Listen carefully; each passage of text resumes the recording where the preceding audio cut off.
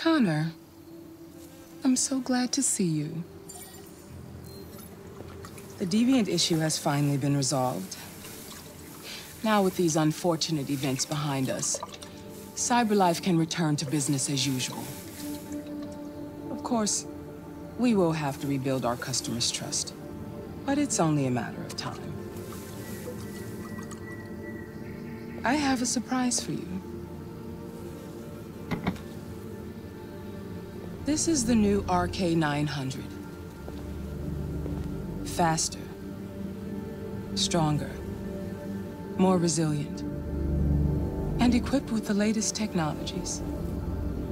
The State Department just ordered 200,000 units. What is going to happen to me? You've become obsolete. You'll be deactivated. You can go now.